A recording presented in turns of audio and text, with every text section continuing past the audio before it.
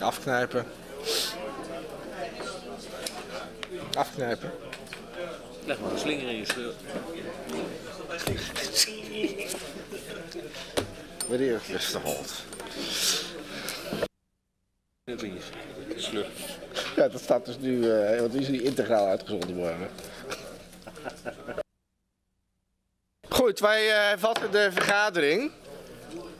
Eh, en wij zijn toe aan de beraadslagingen over de kaderstellende punten uit de visie binnenstad, agenda punt 10. En daar hebben wij afgesproken om dat te behandelen per blok. En de stellingen, 34 stellingen, zijn in uw fracties besproken. En u vindt een overzicht daarvan ook bij de stukken. Dat geeft enige richting aan het debat. Dan hoeven we niet alle 34 stellingen hier te gaan bespreken. De bedoeling vanavond van eh, de bespreking is dat er eh, een richting uitkomt voor het college. Die daarmee verder aan de slag gaat richting de ruimtelijke visie en het bestemmingsplan. En dat komt dus allemaal voor besluitvorming nog in verschillende fasen bij u terug. Dus dit is niet besluitvormend vanavond, maar richtinggevend. Dus op het moment dat ik het gevoel heb van dit biedt te weinig richting, dan zal ik in ieder geval eh, trachten die richting wel van u te gaan verkrijgen. Ehm, ik stel eh, voor ons te beperken tot eh, stellingen waar eh eh mijns inziens de meeste verdeeldheid over is. Stellingen waar, wij, waar u allemaal in de fracties heeft aangegeven voor of tegen te zijn. Daar hoeven we dan niet heel lang bij te, stil te staan of helemaal niet. En ik stel ook voor, als ik naar de, het overzicht kijk, dan concludeer ik ook dat de meeste discussie vooral in blok A zit. Over het, eh, het kernwinkelgebied en de aanloopstraten. En daarom stel ik voor eerst te beginnen met blok B, C en D. Daar zitten maar een aantal discussiepunten in. En dan kunnen wij ons eh, energie vooral gaan richten op blok A. Om te voorkomen dat we straks aan het eind van blok A eh, niet meer toekomen aan B, C en D. En we hebben ook in het presidium afgesproken dit in principe tot een uur te willen beperken. Maar we gaan even kijken hoe het debat loopt. Daarnaast is het van belang dat u ook vooral elkaar bevraagt. En niet mij of het college.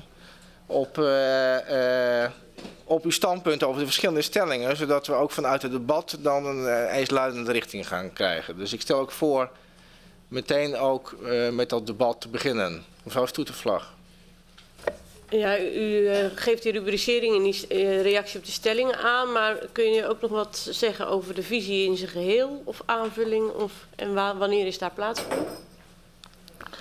Ehm, daar zou u nu vooraf iets over kunnen zeggen. Maar ik wil eh, voorkomen dat wij nog een eerste termijn een vragenrondje aan het college gaan krijgen. Want de stukken spreken op zich voor zich, lijkt mij. Dus heeft nog een aantal algemene statements, dan kunt u die nu kwijt. En dan gaan wij naar eh, blok B. Mevrouw Stoetervlag. Even mijn verhaaltje erbij pakken. Ehm, ja, over het algemeen is het natuurlijk een, geweldige visie. Ook als je, als je andere stukken erbij leest van, eh, van eh, bureaus die daar verstand van hebben. De- het hoofdgep- hoofdpunt is dat je dicht bij het karakter van je woonplaats moet blijven. En eh, dat zien we er ook in terugkomen. Eh, maar we moeten ook recht doen aan belangen van eh, inwoners die dreigen onder te sneeuwen. En ook van kleine ondernemers, van bewoners van de binnenstad, mensen met een kleine beurs. En de oudere inwoners. En waarom zeg ik dat? Omdat het, ik het idee heb dat met deze visie we allemaal weer dezelfde kant op gaan als steden. Want we zien ons als steden allemaal geconfronteerd met leegstand. En dan gaan we allemaal op advies van die bureaus eh, eh, het centrum beperken waar winkels komen. Ehm, misschien moeten we nog uitgesprokener zijn als we kijken naar het rapport van professor Tordoir.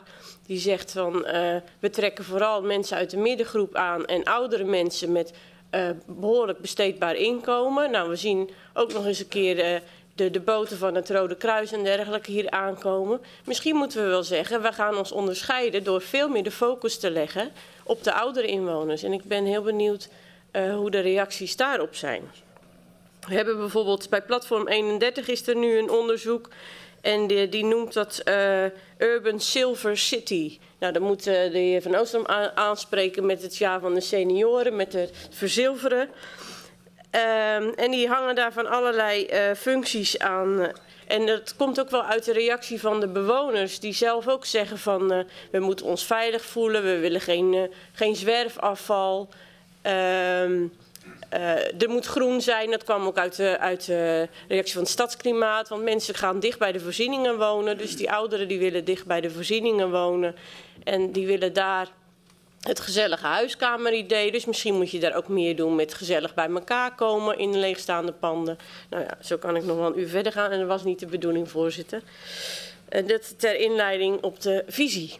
Ja, dat is een interessante toevoeging voor de discussie. Ik weet niet, waar begint voor u de, de groep ouderen? Vanaf welke leeftijd? dat is een hele, hele concrete vraag. Ja, dat laat ik dan bij professor Tourdois, want dan wil ik mijn vingers niet aan branden. right. Uh, zijn er nog andere inleidende beschietingen voordat we naar de stellingen gaan? Uh, of misschien wilt u reageren op mevrouw Soetervlag, de heer Van Galen. In de commissie uh, is mede door ook inbreng vanuit het CDA uh, aan de orde geweest het vervolgtraject. En u noemde het in de inleiding al, we gaan dan naar uh, een nieuw bestemmingsplan. Een gedetailleerd bestemmingsplan waarin staat wat we allemaal wel mogen, straatje wel, straatje niet, auto wel, auto niet, groen wel, groen niet enzovoorts. Uh, maar we hebben een paar weken geleden een uitgebreide avond gehad over de uh, omgevingsvisie en het omgevingsplan. En in de gesprekken die er gaande zijn is geopperd om met de bandbreedte die die uh, nieuwe wetgeving gaat bieden, maar eens droog te oefenen en dan misschien droog te oefenen als het gaat over zo'n complex geheel als uh, de binnenstad en het bestemmingsplan rondom die binnenstad, wat dan dus omgevingsplan wordt, waarin we zoeken naar de bandbreedtes die er zijn, zodat we niet alles, en dat helpt ook bij het discussiëren over al die stellingen, tot op straatniveau dichtregelen. Want dat is volgens mij de verkeerde manoeuvre. En dat is wat ik het college hierin en misschien ook wel in de discussie zo meteen zou willen meegeven. Als benaderwijzer van het geheel. Ja, dank u wel. De heer Van Gurp. En wilt u reageren ook op de heer Van Galen? Kijk naar de meneer Van Gurp. Dan, anders is de eerste, heer Van Oostrom. U reageert op Van Galen? Ja. Uh, ik kan het uh, vanuit CDA alleen maar heel erg uh, zeg maar, ondersteunen, het pleidooi van de heer Vergalen. En, en wat, wat er heel erg belangrijk bij is, is zeg maar, de betrokkenheid van de, de mensen die, die, het om doen. Dus zeg maar, de, de, de winkeliers, maar ook de inwoners. Dus dat betekent als je in zo'n bestemmingsplan ook heel veel ruimte moet geven voor creatieve ideeën, voor initiatieven die, die we vandaag niet, kunnen bedenken, maar morgen wel. En ook om een korte reactie mevrouw Stoetervlag. Kijk, kijk, ouderen hebben natuurlijk ook kleinkinderen. Dus, dus je moet ook ruimte geven voor, voor zeker voor bepaalde doelgroepen, maar ook, uh, ja, ook proberen om, ja, dit, ook zoals het gaat uh, en, wat behoefte naar is, dan zal het, als je daarin ook in bestemmingsplan ruimte voor geeft, dan gaan dingen ook vaak zoals ze moeten gaan. En we, vaak bij bestemmingsplannen zie je, als, als het te strak zijn, ja, dan, dan, dan, dan houdt het vrij snel op, zeg maar, uh, ook als je initiatieven hebt. En dat is het grote gevaar wat hierachter zit. Dus ik ondersteun uh, de heer Vergalen van harte bij deze opmerking. Ja, dank u wel. De heer Van Gurp. Dat geldt ook voor ons. En toch willen wij er nog een kleine toevoeging aan, uh, aan doen. De plannen zoals ze er liggen zijn, zijn ambitieus. En op het moment dat je dat zou willen gaan realiseren, dan zul je niet alles moeten dichtregelen. Er is door de vorige ook al aan gerefereerd. Het flexibel kunnen bestemmen is echt noodzaak om al de mooie plannen die er zijn, om de visie die er ligt, om dat voor elkaar te krijgen. En wij zouden eigenlijk iets, iets nou, laten we zeggen, hoop, hoop, duidelijk willen maken. Um, er wordt dadelijk gesproken over, over bestemmingen. En mogelijk dingen die ooit bestemd zijn of herbestemd zouden moeten worden. Wij zouden ervoor willen pleiten niet op voorhand alles te bestemmen, maar mensen zelf met een bestemming te laten komen en je dan pas eens te gaan afvragen waarom de voorgedragen bestemming niet zou kunnen. En waarom we dat nou zo willen wegzetten is dat het een andere manier is van ergens tegenaan kijken. En op het moment dat je dat neemt als vertrekpunt, komen een aantal zaken, zeker zoals ze dadelijk ook aan de orde komen, in een heel ander licht te staan. Dank u wel. Heer Alles kan. Ja, daar daarbij wil ik wel wat aan eh, toevoegen. Kijk, wij vinden ook dat de binnenstad aantrekkelijk is eh, door de menging van functies en bestemmingen. En ehm, nou ja, nou wordt er aan, ons voorgesteld om stellingen te, te beantwoorden vragen. om, die te sturen een beleidsrichting, namelijk het beperken van de functiemenging. Leidt dit tot een aantrekkelijker eh, binnenstadcentrum? Volgens ons niet. Veel, eh, stellingen spreken ons dus ook niet echt aan. Ehm, gelet ook eh, op de komende nieuwe omgevingswet, omgevingsplan, waar juist wordt uitgegaan van meer flexibiliteit. Wij zijn dan ook geen voorstander van eh, beperken van detailhandel. De markt moet ook sturend zijn. Kijk even of er eh, eh, de Zuidema, heeft u iets nieuws te voegen op dit punt? Want, ja. Ja, natuurlijk gaat u nou geen nee schudden, maar het gaat me even om te voorkomen dat iedereen nu elkaar gaat herhalen over de flexibiliteit. En ik wil ook graag het college even daarop laten reageren, omdat er ook een passage in, het, in de oplegnota over staat. De heer Zuidema. Ja, u zou toch D66 moeten kennen als een partij die niets herhaalt, alleen doorlopend aan de weg blijft timmeren. Dus dat gaan we nu ook weer doen. Even los van de interessante opmerkingen. Ik werd, kreeg wel een beetje eh, zeg maar, plaatselijke jeuk van de opmerking van de ChristenUnie. Als we hier een bejaardenstad gaan maken, dan, dan hebben we denk ik een probleem. Want dan zijn we toch dingen aan het dichttimmeren met een bepaalde doelgroep. En ik denk dat het laatste is wat je wilt, dat je in, eh, in, een bepaalde ontwikkeling, demografische ontwikkeling, eh, de babyboomers nog meer voorrang geeft dan zal hebben. Los van eh, de kwaliteit van die mensen, maar ik zou eerder denken, betrek ze nou, geef ze een plekje in die stad, eh, eh, betrek ze bij, bij beleidsvorming en ehm, geef ze de ruimte ook in die straten. Ik zou willen pleiten namens D66 voor, een, voor het leervermogen van het beleid. Oftewel, pas je nou aan, zoveel als kan, beleidsmatig op veranderingen die zich maatschappelijk voordoen. Dus je moet in kunnen spelen op veranderen. Accepteer ook die veranderende functies, bijvoorbeeld van straat of van een centrum. Ehm, natuurlijk moet de bereikbaarheid, met name voor ouderen, maar ook voor, voor mensen die minder mobiel zijn, moet eh, goed geregeld zijn. Ehm, maar niet, niet daar al meteen de focus op leggen. Dus hou het breed, hou het open, zorg voor vrijheid. Eh, dat is misschien wel het toverwoord in, eh, in dit stuk. Ehm, en dan, dan heb je alle opties nog open zonder alles dicht te timmen. Dank u wel, de heer Granissen. Ja, misschien, ik hoop dat ik vanuit de PvdA misschien mevrouw Stoetervlag en de heer Zuidema nader tot elkaar weet te brengen. Want volgens mij zit er helemaal niet zoveel verschil in tussen wat ouderen willen en wat jongeren willen. Het gaat, eh, hè, we het, een van de punten die naar voren komt is belevenis. Nou, en elkaar ontmoeten. En mevrouw Stoetervlag die noemt de ouderen daarin. Maar volgens mij zijn jongeren ook bezig om elkaar te, die willen elkaar ook graag ontmoeten op eh, bepaalde plekken in de stad. Dus volgens mij kunnen we daar best eh, een, een gezamenlijke noemer en deler in vinden. Een mooi moment van verbinding, meneer Granissen. ja, nee, heel goed. De heer Van Gurp is er u over, vier. Dan stelt u een soort oop voor, een oudere ontmoetingsplek of zo. Oop, klinkt ook wel aardig. Zullen, het eens een overweging Als er geen andere punten zijn, dan kijk ik even naar de, de heer Spui, wethouder Spui namens college. En dat gaat met name even over de oproep van... Als wij straks met die, over die stellingen praten, is er nog voldoende ruimte voor initiatieven of timmeren wij heel veel al dicht?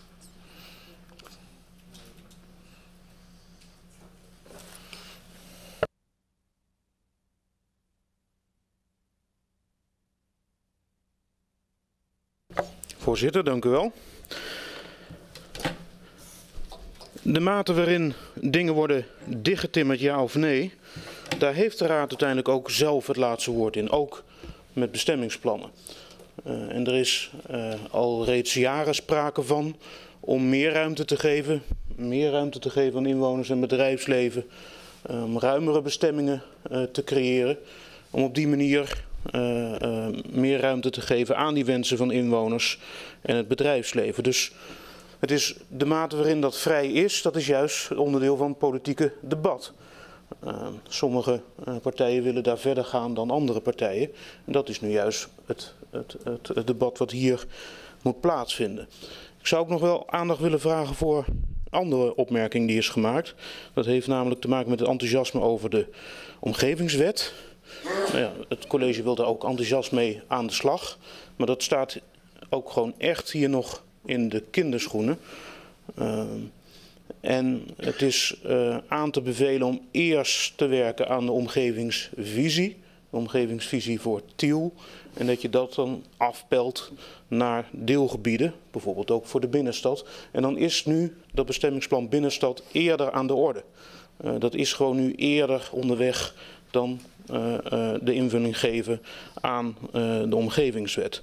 Dus ik zou er sterk voor willen pleiten om het ingezette proces wat nu al is uh, uh, ingezet met, met, betrekking tot bestemmingsplan binnenstad. Inwoners zijn al gehoord, al bewonersavonden uh, gehouden, om dat nu wel voor te zetten. De heer Van de Oosterom, de interruptie. Ja, dat laatste, dat, ik denk dat dat het belangrijkste is. Het gaat vooral om de geest van de omgevingswet. He, dus dat je de ruimte geeft, nu al in bestemmingsplan, dat je He, want we zijn eerder dan de, de omgevingswet, die is rond 2019 pas van kracht, dus dat, daar hebben we nog een paar jaar voor. Maar dat je in een bestemmingsplan al nadenkt en ook laat zien dat je met name de rol van, van inwoners, van initiatiefnemers, buitengewoon serie, serieus neemt en ook ruimte geeft binnen dat bestemmingsplan om tot ideeën te komen. En die geest moet echt in dit bestemmingsplan zichtbaar zijn. De wethouder? Voorzitter, daarom moeten we elkaar, uh, want dat is ook nadrukkelijk de bedoeling om dat te doen. En uh, zonder om een keur aan uh, voorstellen of dingen te schetsen, blijven er genoeg punten over waarin belangen tegenover elkaar blijven staan. En daar zullen we het in deze raad toch echt over moeten hebben. Want de vrijheid voor de een is de beperking voor de ander. De geluidsbarrière bij evenementen, die we hebben opgeheven als het ware. En er nu van uitgaan dat er per jaar zoveel keer overlast mag zijn. Die ervaart de ander als, ja, ik ben vogelvrij bij evenementen. Dus ja, dat soort debatten, die komen hier wel terug natuurlijk. Dank u wel. Uh, ik stel voor uh, ook nog even goed kennis te nemen van pagina 2. Uh, met het, kopje ruimte voor initiatieven. Dat sluit aan bij wat de wethouder net aangaf in de bespreeknota.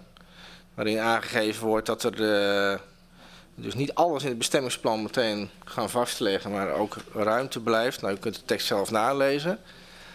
Uh, en de tweede oproep vanuit het college is ook wel even van belang. Dat u dat wel uh, ons gaat helpen, ons als college. Uh, als u ook wel wat richting gaat geven. Want er zit natuurlijk op een aantal plekken, denkt u echt wel verschillend over. Dus het gaat niet helpen als u als we blijven, wat blijven hangen in vage formuleringen. Ik ga er ook vanuit dat u dat niet doet hoor, daar gaat het niet om. Maar dus daar wil ik wel naar de stellingen toe met in achtname van wat het college net gezegd heeft en uh, de oproep die u gedaan heeft ook, daar wordt natuurlijk uh, nadrukkelijk kennis van genomen in het vervolgtraject. Um, dan komen wij naar uh, blok B zoals afgesproken. Um, daar is vooral, concludeer ik, nog wat discussie als het gaat over de evenementen, die de wethouder net ook noemde. Um, dat zijn uh, stellingen 11 en 12. Uh, daar blijkt, um, uh, nou ja, er is even discussie van hoe, hoe gaan we daarmee om. bieden we inderdaad meer ruimte voor evenementen, ook als het extra overlast veroorzaakt. En het tweede punt is, zou de, zou de samenstelling van onze bevolking ook terug moeten keren in het soort evenementen wat hier in de stad is. Uh, en hoe kijkt u daar tegenaan? Wie wil daarop reageren? De heer Zuidema. Dank u voorzitter. Ook hier heeft D66 zich al vaker overgebogen. De onderscheidende factor, de onderscheidende functie van Tiel is juist dat we een evenementenstad zijn naast streekfuncties. Dus dat moet zichtbaar zijn in, in een evenementenprogramma. Dat moet zichtbaar zijn in de inrichting van je binnenstad. Dus vandaar dat wij altijd hebben geroepen, zorg nou dat we op dat gebied, vlak van evenementen, van beleving van allerlei activiteiten, zo'n breed mogelijk programma hebben. Uh, dat hoeft niet altijd met toeters en bellen, dat hoeft niet altijd in, in, de, in schaal van appelpop of fruitcorso. Maar we hebben zoveel interessante hoekjes, plekjes, pleintjes en parkjes in de stad. Daar kan van alles. Um, dus het aanjagen van initiatieven op dat vlak het mogelijk maken van dat soort initiatieven qua ruimte en, en, en beleid zouden wij zeer toejuichen. Dank u wel. De heer Graansen denkt daar volgens mij iets anders over. Althans, volgens de lijst. Ja, volgens de lijst die natuurlijk heel zwart-wit opgesteld is. Dus daar zit wel enige nuance nog in. Maar um, wat, wij, wat de PvdA wel belangrijk vindt, is dat er rekening wordt gehouden met, met de overlast die evenementen kunnen veroorzaken. En wat de PvdA betreft moet er een heel goed evenwicht zijn tussen hoeveel overlast veroorzaakt nou een evenement en um, ja, zeg maar, hoe groot is het evenement? Wie kan ervan genieten enzovoort.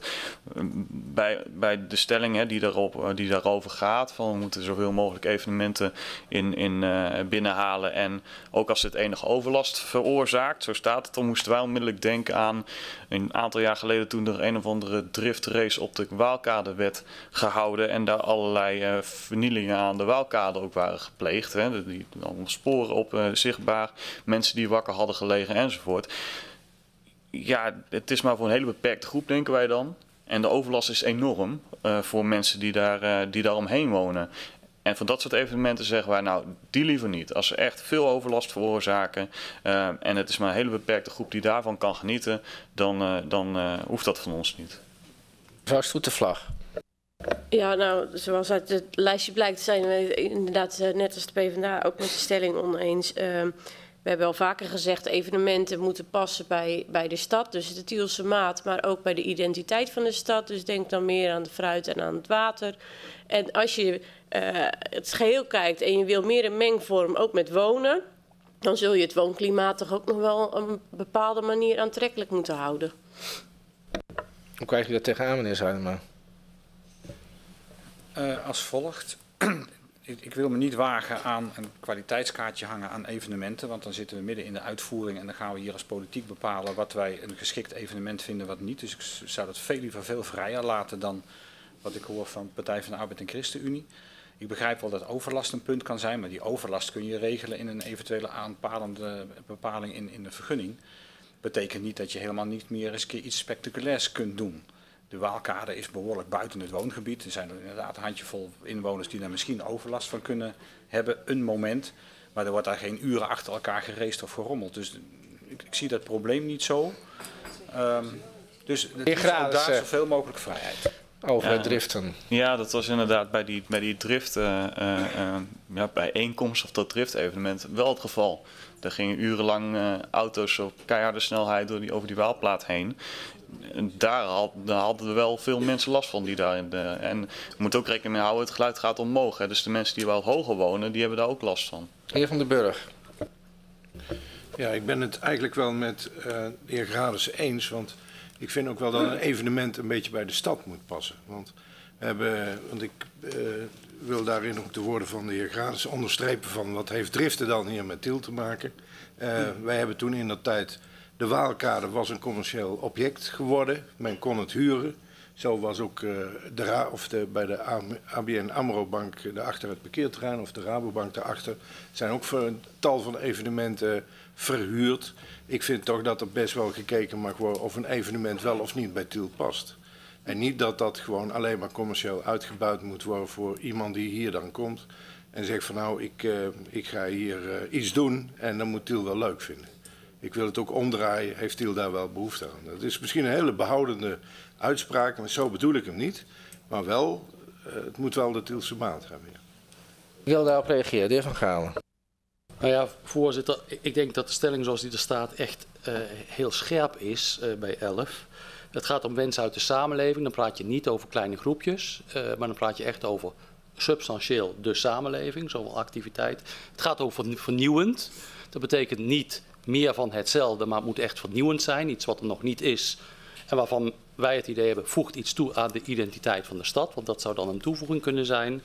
En het gaat om enige overlast. En dat betekent enige overlast niet zin in de zin van hebben mensen er last van vanwege geluid, et cetera. Maar ook als het gaat over uh, hoeveel schade levert het op. Of uh, wat voor ingrijpende maatregelen zijn er nodig. Nou, als je die drie onderdelen de overlast en echt vernieuwend en breed uit de samenleving als, als uitgangspunt neemt, denk ik dat, ja, dat er niet zoveel bezwaren meer zitten in deze stelling. Ik geef aan de heer Van den Burg. Als u hem zo uitlegt, is dat dan...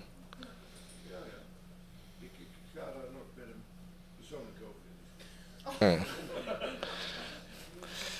Mag ik concluderen bij deze stelling dat, uh, de, dat, er, uh, dat u zegt van nou, er, uh, er moet wel onder deze condities, zoals u gaan net aangaf, ruimte zijn voor evenementen. Maar we moeten wel ook goed blijven kijken naar het evenwicht en de schaal van Tiel. Is dat een goede conclusie? Oké, dan hebben we nog het punt 12. Wilt u daar nog apart over spreken? het evenement of sluit dat eigenlijk wel aan bij als er een wens vanuit de samenleving komt en die eh, zit in dit vlak, dan is dat een logische gevolgtrekking, ja? Hebben wij dan blok B behandeld of zijn er nog andere punten die u bij blok B uh, zou willen bespreken hier? Er is nog één punt, dat is punt 17 over de reclameuitingen. Daar is ook wat verdeeldheid over. Heeft u er behoefte aan daarover te spreken of ziet u dat gewoon vanzelf al terug straks? Dat ziet u vanzelf al terug. Punt eh, C, eh, daar ligt eh, de focus van de discussie, althans dat lijkt zo uit het overzicht, op het plein. en met name de vraag van wat sta je precies wel en niet toe op het plein? Ga je daar ook winkels toestaan? dat is punt 22. Dat ligt behoorlijk verdeeld. Uh, terrasmateriaal, daar komen we denk ik wel uit. En een ander punt is, waar ook behoorlijke verdeeldheid is, over is, is uh, één is dus wel of geen winkels. Twee is, ga je daar ook wat meer grootschalige horecavestigingen voor jongeren toestaan? Wie wil daarop reageren? Wie van Oostrom. Kijk, ja, dat, dit uh, onderwerp willen we ook heel graag benaderen zeg maar, vanuit het, het woord beleving. Van, uh, uh, wat je toch merkt is dat met name op de dag het in het plein of op het plein relatief rustig is. En als je daar horeca hebt of zaakjes hebt, is dat natuurlijk vervelend, want het is te weinig, ja, te weinig mensen komen naar je, naar je winkel toe en dat, of naar je horecazaken, dat is op zich jammer. Ehm, wat, wat wij als CDA zeggen van ja, je, je moet proberen om, die, om dat plein levendig te maken. Dat kan door her en der kleine leuke winkeltjes toe te staan. Die, die net even wat meer cachet geven aan dat plein. Reden geven om daarheen te gaan. Het heeft ook te maken dat, je, dat wij de stad zien als compacter, compacter, maar wel een rondje kunnen maken vanuit het plein en dan zo richting Weerstraat en dan weer nou, door de stad heen. Dus dat, dat, dat, die stad moet een, een belevenis worden. Ja, en dan uh, als je ook jongeren zou willen hebben en, uh, en er is behoefte aan. En, uh, en dan zou bijvoorbeeld McDonald's zeggen van we willen een, McDonald's Light versie zoals in de bos ook is. waardoor je wat meer jongeren trekt. Zou, zouden wij als CDA daar per definitie niet zoveel moeite mee hebben.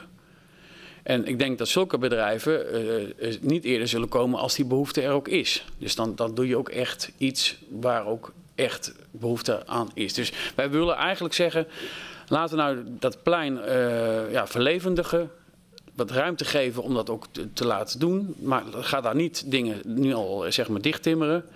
En uh, de, markt die, uh, die daarbij hoort natuurlijk, want dat is een belangrijk ook een fenomeen op dat plein, vinden wij ook dat dat eigenlijk naar een andere plek in de stad zou moeten. Zeker op de warme zaterdagen. Zo. En Light betekent in nu uh, wat kleinere vestiging, neem ik aan. Ja, Geen light nee, producten. Nee, nee, nee, nee, ik schrok al. Zonder drive-in. Zonder, drive-in. Ja, de heer Groen. Ja, voorzitter, dank u wel. Uh, nou, eigenlijk een beetje in, uh, in, in aanvulling op meneer Van Oostrom. kijk, op zich is dat een hartstikke sympathiek idee. Hè? Om, om de, u noemt dan McDonald's, kan ook wat anders zijn. Ehm, de eerste vraag die dan opkomt is van, nou waar? Want op zich, die panden die er nu zitten, daar zit niet heel veel verloop in. En als er verloop is, dan is het vaak hetzelfde pandje. Maar goed, daar kunnen we dan nog over discussiëren. Het tweede punt is, wil de horeca wel jongens, meisjes van 11, 12, 13, 14, 15, 16 overdag in een kroeg hebben? Willen wij dat als gemeente? Volgens mij hebben we daar wel, kunnen we daar wel iets substantieels tegen hebben, toch? Vooral van Oostrom.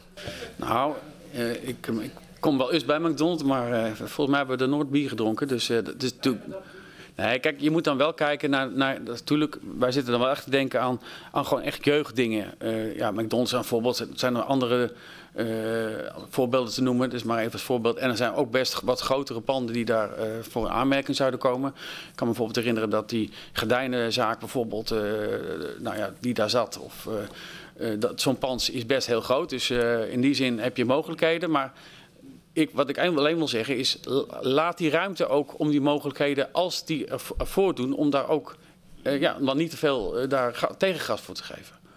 Dat zeggen we eigenlijk. Ja, ik snap uw boodschap hoor. En ik denk dat we een beetje op dezelfde lijn zitten. Alleen je moet jezelf dus afvragen van, uh, wil je die groep mensen of die doelgroep die je dan nu schetst, dat is in dit geval dan jongeren, wil je die dus ook naar dat horecaplein trekken? Of zit hem dan het venijn meer in bijvoorbeeld een aantal kleine winkeltjes, wat u zegt, waardoor je toch die loop krijgt? Je moet die loop naar dat plein hebben. Het gaat eigenlijk om, de, wat ons betreft, in de beleving, de verlevendigheid van het plein. Als je nu op het plein loopt, is, op de dag is het vaak één dode boel, zeg maar plat gezegd. En het zou leuk zijn ook om, om daar wat meer energie te krijgen. En dan zou je die kleine zaakjes en misschien ook die kleine horeca, wat ik net geschetst heb, zou daar maar kunnen bijdragen. Heer Gradissen. Ja, dank u wel. Um, het plein overdag volledig helemaal mee eens. Alleen de vraag is hoe je dat gaat doen. Als je winkeltjes gaat plaatsen en er komen te veel winkeltjes, loop je weer het risico dat het s'avonds minder levendig wordt. En dat, dat uh, ziet de PvdA minder zitten. Dus wij zouden eerder zeggen, doe nou daghoreca. Zet er bijvoorbeeld een Kentucky Fried Chicken in het oude pand van de drie zussen. Uh, en ja, dat zorgt al voor meer loop, voor meer verloop overdag. Dan heb je dat s'avonds, dan, dan loop je niet het risico dat s'avonds een dode boel wordt. Want dat risico loop je op het moment dat je daar weer winkels tussen gaat plaatsen. Dus probeer dat horecaplein nou ook echt een horecaplein te houden. Mevrouw Under. KFC in zo'n mooie pand. Oeh, maar ja. Um, ik, ik, vond eigenlijk de kanttekening van meneer Groen wel een, een, een, een goede. Van wat voor publiek wil je dan trekken? Als je dan inderdaad een KFC of een, een McDonald's light versie daar gaat plaatsen. Dan krijg je misschien inderdaad 15 tot en met 20. Of willen we inderdaad juist een soort van looproute ontwikkelen? Als GroenLinks denken we meer, laat dan ook winkels toe. In, in Arnhem heb je heel vaak gecombineerde winkels. Die ook een drank, uh, niet, niet alcohol, maar gewoon een kopje koffie of thee. Dat je dat in de, in de ochtend en middag kan drinken en tegelijkertijd kan winkelen. Denk dan aan meer winkels die het ook een combinatie van beide aanbieden. En daar vind ik dat een hele mooie locatie voor. Ik wil daar graag op aanvullen, want bijvoorbeeld culinaria is een goed voorbeeld in de Weerstraat die die twee, uh, die twee elementen heeft. En ik heb het ook niet over grote winkels, het zijn juist de kleine winkeltjes, de, de, de pieterpeuterige winkeltjes waar iets bijzonders te, te, te, kopen is en te zien is, die juist zo'n plein leuk maakt. Dus, dus dat moet niet te veel zijn, want dan heeft hij gelijk. Dan is straks avonds alles vol winkels en dan hebben we de, dat weggeschoten. Maar het moeten een paar kleine pareltjes zijn in het, op het plein, zeg maar. We moeten ons wel eh, realiseren dat uh, uh, voor deze discussie wel van belang voor het college dat onze sturingsmogelijkheden niet onbeperkt zijn. toevallig zit, jou ook nog voor een deel in mijn portefeuille en wij kunnen, hebben geen onderscheid in het bestemmingsplan tussen café en McDonald's. Dus als de markt McDonald's wil vestigen, kan die morgen beginnen in een leegstaand pand, dus daar hoor ik een bestemming op zit. En dat geldt ook voor de winkeltjes. Ja, wij kunnen uh, geen onderscheid maken tussen modewinkels en pareltjes, zoals u dat noemt. Dus dat is nog wel even, ja, ik zeg dat niet om, om, om, uh, om uh, flauw te zijn, maar het is wel van belang voor de discussie, want anders gaan we misschien een beeld krijgen wat niet klopt. Mevrouw Voetenvlag. Ja, ik dacht ook gelijk van volgens mij zit je met een groot gedeelte marktwerking. Maar eh, om dan toch terug te komen op mijn idee van de, de ouderen. Als je daar een huiskamer maakt en je hebt veel meer een ontmoetingsplek voor ouderen, dan heb je daar een menging. Dan kan je ook services verlenen, bijvoorbeeld voor mensen die langer thuis willen wonen, om daar advies te dienen. Je hebt de gezelligheid, die heb je dan overdag. Uh, je kan daar kinderopvang voor de kleinkinderen van de ouderen nog regelen. Uh, en ook voor het winkelend publiek, want het kinderopvang komt ook terug in de visie. En dan heb je s'avonds weer andere functionaliteiten. En ik denk zeker niet, ook als je ziet de klachten die er altijd zijn over zwerfafval, dat je moet streven naar uh, die jongeren aantrekken. Die jongeren, laat die dan gewoon lekker naar de grote steden gaan. En de jongeren die kiezen voor de knusheid, die komen toch nog wel naar Tiel. De heer Gradissen. Nou, ten eerste vraag ik me af welke opa en oma hun kleinkind naar de stad meenemen om ze vervolgens bij de kinderopvang te dumpen. Maar dat is vraag 1. Maar ik maak ook wel bezwaar tegen het rechtstreeks verband dat u zegt tussen de jongeren en tussen zwerfvuil. Want dat, dat, dat verband, dat, uh, dat snap ik niet. Niet tussen jongeren en zwerfvuil, maar wel du duidelijk tegen de gele M en zwerfvuil. Ook al zijn die zelf weer, pakken die de verantwoordelijkheid op om het op te ruimen. Maar Mevrouw. Under, na de heer Van der Brug, zou ik ook nog Ik zou het juist zonde vinden dat we over tien jaar terugkijken op Tiel en het een en al grijze massa is geworden. En dat we juist die jongeren zeggen, ga maar weg. Je moet ze juist hier houden om eh, voor die levendigheid te zorgen in de stad. En dan niet eh, wegjagen. Ik wil ook nog wijzen op het gevaar van hangouderen. De heer Van der Burg, daarna mevrouw Roders. Ja, ik, ik zou eh, ervoor pleiten om toch een, een onderzoek te doen. Ik weet dat het, dat het moeilijk ligt, maar eh, er zijn eh, in het verleden een aantal horeca-exploitanten geweest, maar ook, eh, ik bedoel ook een, een meubelexploitant, die dus een koffieroom daar bij zijn eigen zaak wilde hebben. Ook Sora, die daar ooit gezeten heeft en in feite ook een winkelfunctie had. Dus ik pleit ook, en dat met name om die gezellige zaakjes waarin je dus toch een gemengd gebruik krijgt van horeca, CQ winkel. Of dat mogelijk is om daarin toch wat meer ruimhartiger in het plein naar te kijken. Eh, ook omdat dat juist die, die, die, die, die leuke zaakjes zijn waar we eh, toch ook eh, dat heerlijke bitterballetje willen eten. Of,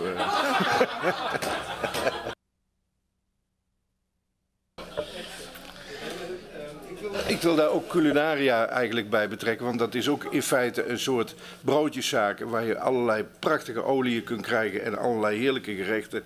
En eh, als ik daar dan zit, ja, dan eh, moet ik een kopje koffie nemen en dan, ja, dan moet ik weer naar de buren toe om een glaasje wijn te halen. En dat, dat zijn dingen, dan denk ik van, wij moeten daar toch iets slimmer als stiel, ruimhartiger, misschien wel in de toekomst mee kunnen omgaan.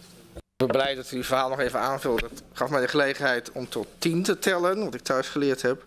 Ehm, de, de- volgens mij is de conclusie eh, eh, wel dat u allemaal zegt van dat, eh, want we, anders blijven te lang aan deze stelling hangen, dat, het, dat we het plein allemaal levendig willen houden, ook overdag.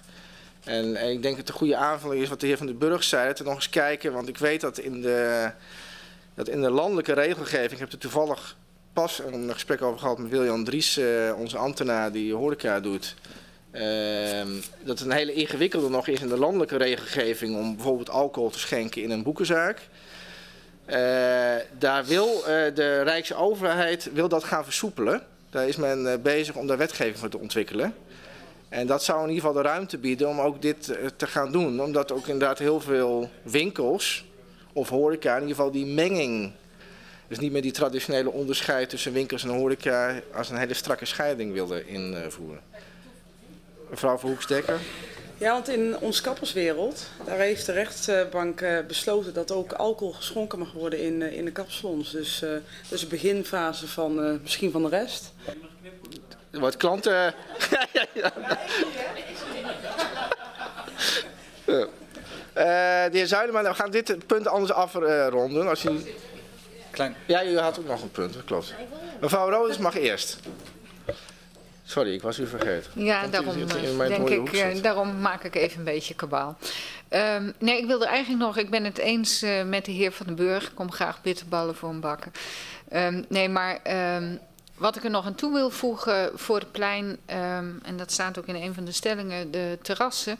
Doordat de terrassen natuurlijk steeds op en afgebouwd moeten worden, krijg je niet eh, blijvende terrassen. Kunnen de ondernemers er daar ook niet in investeren? Als je in sommige steden kijkt, dan zijn dat wel wat grotere steden dan Tiel. Maar als je kijkt in, in Den Bosch of, of Maastricht, dan heb je permanente terrassen waar je eigenlijk zomer en winter kan, eh, kan zitten. En dat zou ik het plein ook toe willen wensen naast, de naast de leuke winkeltjes. Dank u wel, de heer Zuidema. En dan ronden we af, dit punt. Nog een kleine aanvulling, dat ik met mijn haardracht nog graag naar de kapper zou gaan. Ik zie het nog gebeuren.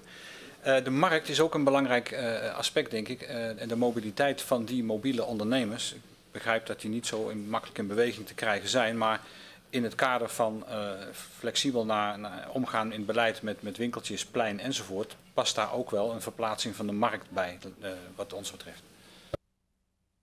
Dank u wel. Daar is ook het een en ander over gezegd door de meerderheid van de Raad. Ik concludeer dat er in ieder geval eh, een oproep is aan het college om te kijken van in de visie, eh, breng die levendigheid op het plein ook overdag.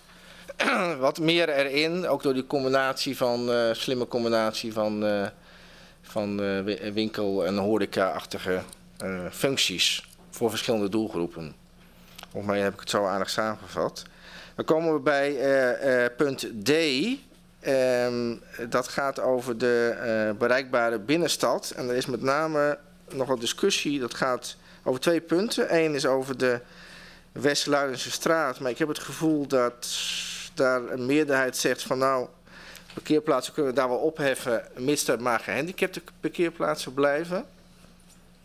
Is dat de juiste conclusie? De VVD dacht daar inderdaad anders over, zag ik. De heer Van Gurp.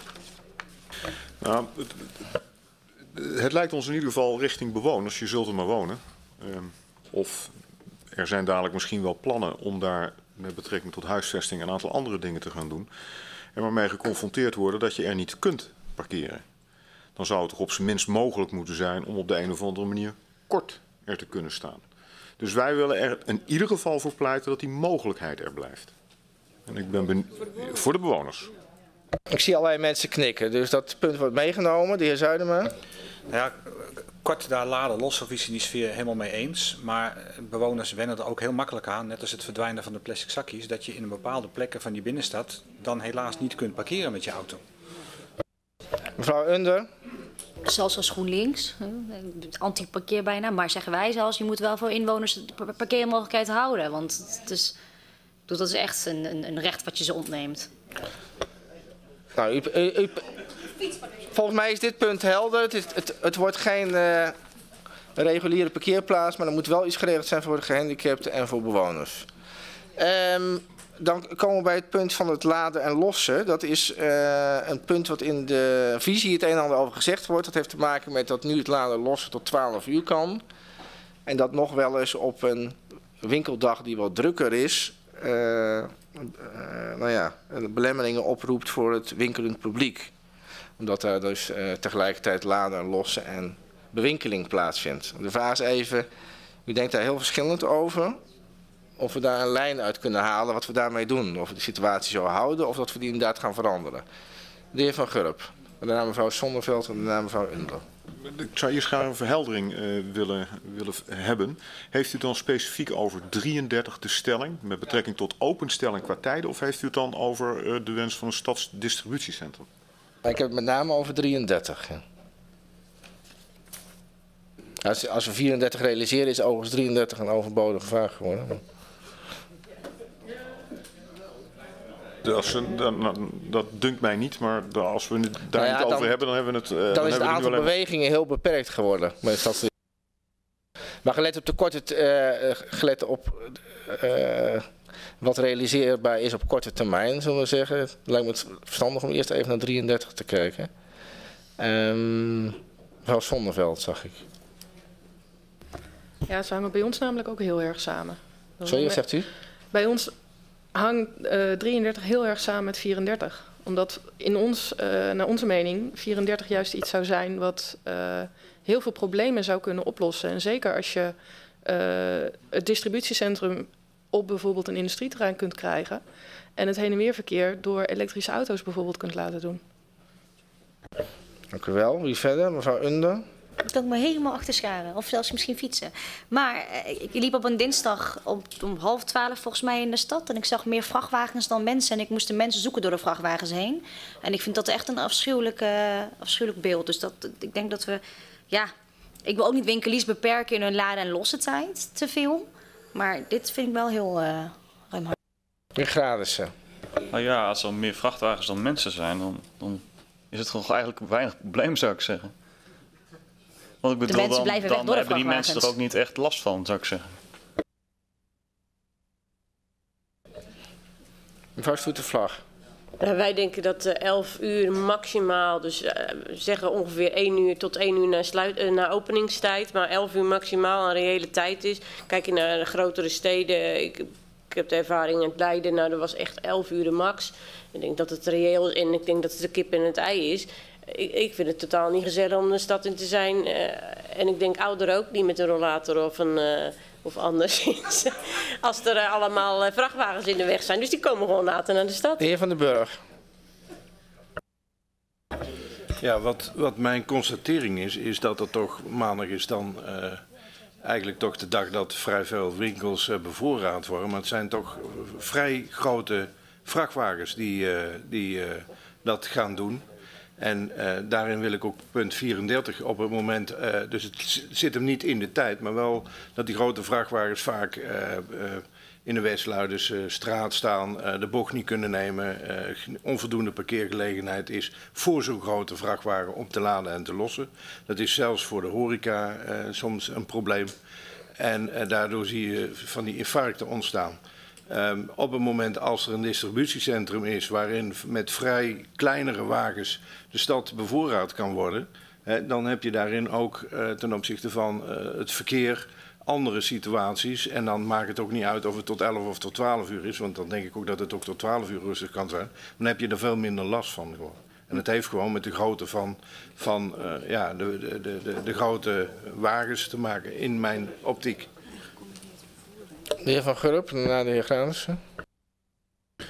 Uh, wat, uh, wat de VVD uh, betreft kan er best een, een maximale tijd gesteld worden die in ieder geval dan ligt voor 12 uur. Um, met dien verstande dat je wel moet overwegen om er misschien ook wel een minimale tijd aan te verbinden. Want op het moment dat je dadelijk alleen maar verkeersbewegingen midden in de nacht krijgt, dan weet je natuurlijk ook dat je daar een aantal mensen niet blij mee gaat maken.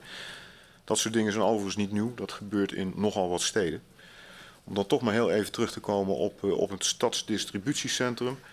Um, zoals de heer Van den Burg dat schetst, dat is, dat is ook iets waar, wat wij natuurlijk wel snappen, maar wij zien ook nog wel wat haken en ogen aan een stadsdistributiecentrum. Um, wil niet zeggen dat je er misschien helemaal niks mee zou moeten. Misschien dat je het wel eens zou kunnen overwegen. Maar je moet je toch echt afvragen, uh, bijvoorbeeld, wie gaat dat bekostigen? Wie wordt eigenaar van het geheel? En nog meer belangrijk, wie wordt er verantwoordelijk? Wie is er dus aansprakelijk op het moment dat dingen niet lopen? Uh, daar is maar eens helemaal de vraag of je daar als gemeente iets, uh, iets mee zou moeten doen. Gevolg is, op het moment dat je het aan andere partijen laat, dat er natuurlijk een bepaalde mate van vrijblijvendheid is. En dat je nog het risico loopt dat. Dus op zich het idee uh, helder, zou best kunnen, maar daar zal dan nog wel de nodige onderzoek voor nodig zijn. Dank u wel, de heer Granissen. Nou, ik had in, dat punt, ik ben het met de heer Van Geurp eens, dat is uh, één. En tweede is, wil ik toch op een gegeven ondernemers nou ook wel de ruimte om zich te bevoorraden. Eh, of dat tot 11 of 12 uur is, ik snap wel dat je niet tot drie uur s middags uh, vrachtwagens door je binnenstad moet laten rijden. En of dat tot 11 of tot 12 uur is, dat maakt me niet zo heel veel uit. Maar geef die ruimte wel aan ondernemers. We willen ook dat die winkels een beetje vol zijn natuurlijk als we wat gaan kopen. Ik denk dat het goed is om, om dit punt even af te ronden. En dat we een uh, aantal. Heeft u echt iets nieuws nog? Ja, mevrouw Under. Ik wil ook nog in, in, bij, uh, um, um, in de discussie meenemen. Er worden ook heel vaak auto's van ondernemers daar neergezet. Die blijven gewoon de hele dag geparkeerd staan in de stad. Ik denk dat we daar ook misschien als raad alert op moeten zijn. Hoe gaan we dan daar uh, naar die discussie kijken? Want als, van 9 tot 5 staan ze gewoon geparkeerd. Dat vind ik ook niet uitzien. Dat punt, wat ik zie allerlei mensen knikken, dus dat punt uh, is goed om die mee te geven aan het college.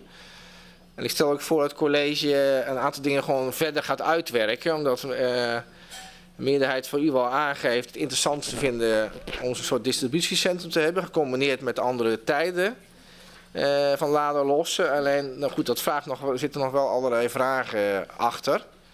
Hoe je dat dan gaat invullen. Dus het lijkt me echt iets om in de verdere uitwerking terug te laten komen combinatie van stelling 33, 34. Ja? Uh, en u heeft een aantal interessante zaken over gezegd. Dan komen we bij, uh, als je dat goed vindt, uh, blok A. En blok A, dat gaat over het kernwinkelgebied. En daar uh, is wel interessant dat daar verschillend over gedacht wordt. Niet zozeer over het kernwinkelgebied, misschien ook wel trouwens. Maar het gaat vooral over misschien dan nog niet zozeer alleen de, de betiteling of iets kernwinkelgebied is of niet. Maar vooral over hoe kijken we nou naar de aanloopstraten.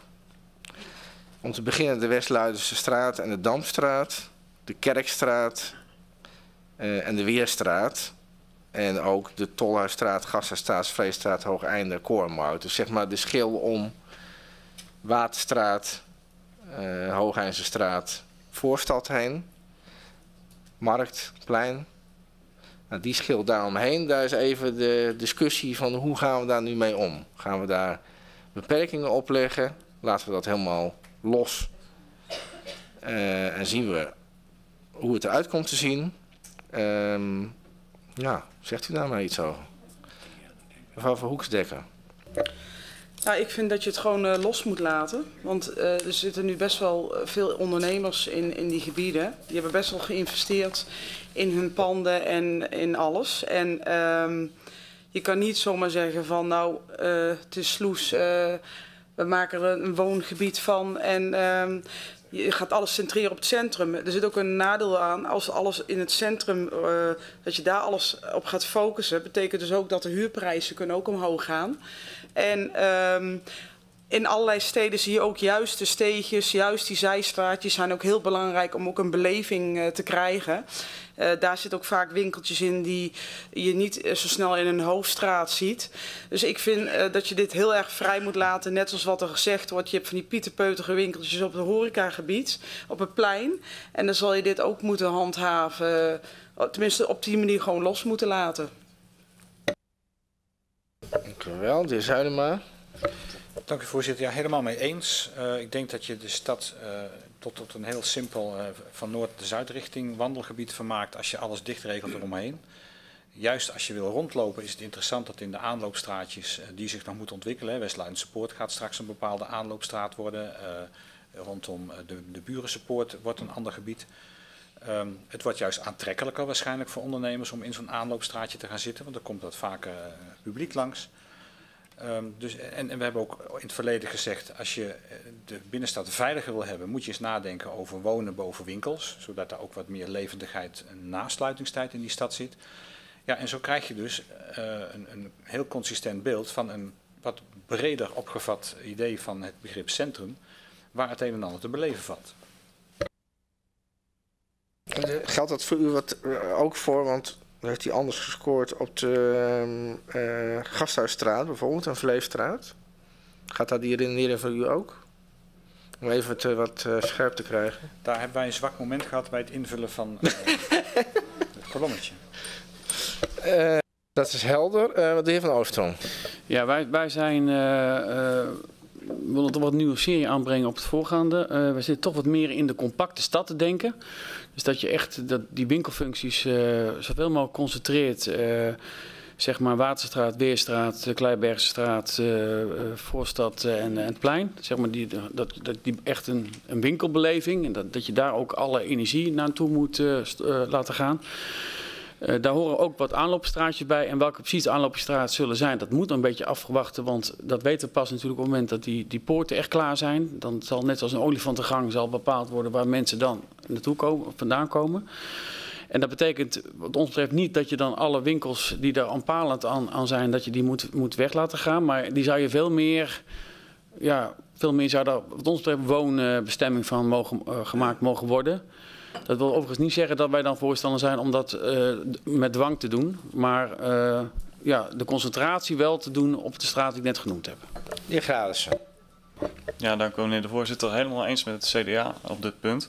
Um, we moeten, maar ik wil hem wel even in een nog wat bredere context plaatsen. Er is wel iets gaande in de binnensteden in Nederland. Hè. We hebben het steeds meer te maken met internetverkoop. Dus je ziet dat steeds meer zaken leeg komen te staan die leegstand, dat maakt een stad heel erg onaantrekkelijk. En van daaruit wil ik inderdaad ook de mening van de heer Van Oostrom onderschrijven. Je moet naar een compacte stad worden toe, waar zo min mogelijk leegstand is en waar de winkels zo dicht mogelijk op elkaar zitten. Alleen dan kan je volgens mij echt gaan overleven als binnenstad. Het is een interessante discussie wordt dit, want het staat echt wat tegenover elkaar. Mevrouw Stoetervlag. Ja, ook wij zien wel heil in, in een wat compactere binnenstad. Ik denk dat dat gewoon een gegeven wordt. Um, maar we zien ook wel een probleem als je bijvoorbeeld zegt de Weerstad en de Kleibergse straat uh, geen looproute, krijg je dan nog wel genoeg mensen naar het plein. Als je straks ook het, het, eh, de Waalkade meer autoluw gaat maken. En dan komen de mensen vanuit de Westluidense Poort en dan gaan ze misschien uh, via een andere weg en niet meer over het plein de binnenstad in. Dus dan kan je het plein heel leuk uh, wisselend gaan maken. Maar dan moet er wel een aanleiding zijn om die kant op te lopen. Dus daarom denken we ook dat je het uh, reden moet geven om te dwalen. Dus uh, dan meer moet denken in, in, in beeldkwaliteit. En misschien wat meer her en der een reden om te stoppen om wat eten te halen bijvoorbeeld. Dan, dan dat je in functie gaat, gaat denken. Uh, ook Chorusbeursplein moet zeker in, in, de, in, de dwaal, in de dwaalmilieu of in de looproute zitten. Um, En verder, ja, misschien de leegstand dan ook meer in, in, in groen veranderen, waardoor het aantrekkelijker wordt om door de stad te wandelen. En nog een suggestie wat betreft de leegstand, die ik er ook nog maar eens even ingooi, is misschien eens te denken aan leegstandsbelasting. Wat in België nogal eens in zwang is. Mevrouw Under, daarna de heer Van den Burg. Ja, ik snap het punt van meneer Gadissen, dat je dan denkt laten we eerst de leegstand oplossen eh, in, in het centrum, echt in het centrum. En dan uh, pas aan de Weerstraat, aan de zijstraatjes. Maar ik zou het zonde vinden als we die dwaal, uh, als het dwaalmilieu opeens op slot gaan zetten, omdat we juist het, de binnenstad willen oplossen. Ik denk dat het probleem ligt dat mijn winkelbeleving is zo subjectief. Ik ga bijvoorbeeld naar Haarlem puur voor het dwaalmilieu. Ik vind het een geweldige stad omdat ze hele leuke zijstraatjes hebben om te winkelen. Ik zoek juist die nieuwe spannende winkeltjes op. En ik zou het zonde vinden als we een binnenstad hebben met allemaal soort van H&M-ketens. En dat we het hele dwaalmilieu op slot gooien. En dan geen toevoegde waarde hebben met een Veenendaal bijvoorbeeld. Niet op Veenendaal tekort te doen nu. Maar u gaat natuurlijk alleen naar Haarlem als hier de winkels dicht zijn. Uh. de graden ze. Ja, wat ik nog meer zonde vind dan, dan geen dwaalmilieu hebben, is leegstand hebben. En daar moet een oplossing voor komen. Die leegstand is op dit moment hoog. Het is een serieus probleem. Dat moeten we gaan aanpakken. En dat krijg je volgens mij alleen maar voor elkaar door dat gebied echt geconcentreerd te houden. Echt te kijken waar gaan we die winkels precies hebben. Ik zeg van de Burg. Ja, met de laatste spreker ben ik het niet eens. Want ik vind toch dat dat dwaalmilieu er moet zijn. Daarnaast vind ik ook dat je dit grotendeels uh, toch ook aan de markt moet overlaten. Want de ene winkel is de andere niet. Uh, de winkels die uh, in, in de kern zitten, die toch een vrij hoge huur betalen op de promenade. Daar ook andere voorzieningen voor hebben, daar ook een ander koopgedrag is. En wat ik dus ook heel veel zie en waar juist heel veel ruimte voor komt, is internetwinkelen. Uh, die ook dus hun producten toch wel in een winkel willen laten zien. Die bijvoorbeeld in de West-Luiderse Poort plaats kunnen vinden. Maar ook een biljartzaak, maar ook uh, andere zaakjes die daar zijn. En om dat helemaal op slot te zetten, dan denk ik dat, dat je ook de markt daarin tekort doet. Want daar worden andere huren gevraagd. Er zit ook een accountant waar je binnen kunt lopen om uh, je belastingformulieren in te vullen. En dat is gewoon ook, dat levendigheid voor die stad is dat ook goed. Ik ben niet tegen dat daar ook de functie wonen bijgevoegd wordt. Want op het moment als daar in uh, langdurig winkels leeg staan, zoals nu ook in de Tolhuisstraat wordt dus ook een hele hoek, dat daar dus appartementen gemaakt worden, dan ben ik daar ook absoluut niet tegen. Maar de markt, vind ik ook, moet zelf ook zijn werk kunnen doen. En op het moment als wij dat op slot zetten, dan denk ik van nee, dat, dat doe je ook ondernemers mee tekort. Geef mevrouw nog even gelegenheid. Even denkt de, met hetzelfde, de heer Van Gurp. Ja, voor ons uh, geldt dat, uh, dat het beste is dat je iets als, als kernwinkelgebied uh, benoemt, maar je daarmee niet zegt dat je in belendende straten de rest niet zou mogen doen. Daar willen wij in ieder geval niet voor pleiten. Die, die vrijheid die moet daar zijn. Al was het alleen maar omdat in de loop van de tijd wel eens zou kunnen blijken dat bepaalde dingen zich verschuiven. Ik neem aan dat we allemaal wel een keer in Nijmegen zijn geweest. je ziet gewoon dat daar een verschuiving binnen die binnenstad plaatsvindt van winkelgebieden. En dat is ook eigenlijk vrij logisch, want op het moment dat je geen enkele vorm van concurrentie meer hebt, dan zul je ook gewoon zien dat het niet eens meer kan. Dus al zou je het willen, dan zou het vervolgens niet eens meer kunnen. Dus dat, dat is iets waar wij in ieder geval geen voorstander van zijn. Wat overigens niet wil zeggen dat je niet iets tot een kerngebied zou kunnen benoemen en daar vervolgens het op de een of andere manier interessant maken, misschien wel interessanter dan in de, in de belendende straten, om daar naartoe te gaan. Daar heb ik hier niet een pasklaar antwoord op, maar daar zou je wel iets mee kunnen doen. Heer Van Oostrom. Dat, dat, laatste, dat is ook precies wat, wat, ik bedoel. Kijk, je zal op een bepaald moment ook als, als, als stad ook je, je ergens je kaart op moeten zetten. En ik denk dat, dat je, als je echt kiest voor zo'n compacte stad, je probeert van die stad met alle uh, actualiteit die, waar we mee te maken hebben, en dan heeft de heer Gaats denk ik prima uit, uitgelegd. Ja, dan, dan, als je daar je kaart op zet, daar, dat echt als een belevenis, echt, uh, dat van alles probeert om die stad uh, leuk te maken, dan heb je je handje al vol, denk ik, als, als, als we het over het gebied hebben die ik net geschetst heb. Ja, alles kan. Ja, wij sluiten ons aan uh, bij Partij van de Burgers. Uh, uh, laat het over aan de markt. we, gaan, we gaan niet het centrum nog kleiner maken. kijk ook even naar OD 15. Mevrouw Rodus van Geldermalsen. Ja, ik kan me aansluiten bij CDA en VVD, wat ze daarover zeggen. niet niet dicht regelen, Maar misschien wel iets doen aan de leegstand in de zin van de, de, de, zeg maar de grote grondbezitters met hoge huren. Waardoor het onmogelijk is om überhaupt iets met zo'n pand te doen. Maar verder uh, laat het zo, zo vrij mogelijk. En, en dan doet de markt het zelf wel. Dan, dan ontstaat het wel. Dan ontstaan de olifantenpaadjes, zoals net gezegd werd. Ik denk dat voor de discussie, of in ieder geval voor het college, wel van belang is. Er zit wel een, uh, wel degelijk een onderscheid tussen, althans heb ik gehoord, tussen CDA en VVD. Dat VVD de lijn die uh, verwoordt, die ook eerder al de PvdB en D66 is verwoord. Van ja, we willen eigenlijk een totale beleving in de binnenstad hebben en daar geen groot onderscheid gaan maken. Dat maakt de markt dan wel. En we, stel, eh, we laten overal winkeltjes en wonen, et cetera, doen. Er zijn een aantal voorbeelden genoemd van Nijmegen en Haarlem onder andere. Uh, maar er zijn andere partijen die zeggen, nee, zet nu juist wel in op dat compacte gebied... om te voorkomen dat je heel veel leegstand daardoor gaat krijgen in je kernwinkelgebied. Dat zegt de heer Van Oostrom en Grades onder andere. Er zit wel wat overlap in, maar het is wel een toch wat andere invalshoek. Dus ik, ja, de heer Zuidema. Voorzitter, dank u. Ja, de heer Van Oostrom. Wat u zegt, dat klopt wel. Dank u. Alleen, als je naar een bestemmingsplan kijkt, niet. Want ik denk, als je, want dan, dan maakt het niet zo heel veel uit. Dat de, de, benadering, uh, de benadering waar ik het en meneer Vergaas met name op heb, gaat vooral over hoe kan je die winkelbeleving optimaliseren. Dan heb je allerlei dingen nodig voor uh, die misschien iets rond marketing en al dat soort uh, zaken te maken heeft. Maar qua bestemming blijft het zo dat we zeggen van nou, die, dat, de compacte stad, dat houden we echt sec en alleen voor bestemming voor, uh, voor winkels, winkelbestemming. En wat er omheen zit, dat zal dan een gemengde bestemming worden met, met daarbij de, de, de kanttekening dat wij vooral willen zien dat op het moment dat een winkel misschien wegvalt, dat de, kans vrij groot wordt dat het dan een woning kan zijn. Dus je probeert wat meer dat te stimuleren, maar als daar een ander klein winkeltje weer terugkomt, kan het natuurlijk ook. Dus het is meer, uh, ik denk dat het verschil maar heel, heel in het kader van bestemmingsplan maar heel beperkt is. Denk ik niet, maar de heer Van den Burg? Ik wil daar nog iets aan toevoegen aan de discussie. Want wat ik ook veel zie, is het fenomeen dat er nieuwe ondernemers opstaan. En dat vaak hele kleine ondernemers zijn. En die gaan iets uitproberen. Dat kan een pop-up uh, situatie zijn. Het zijn ook vaak dingen die leeg staan waar ze uh, afspraken maken met een makelaar om het tijdelijk te huren en dergelijke.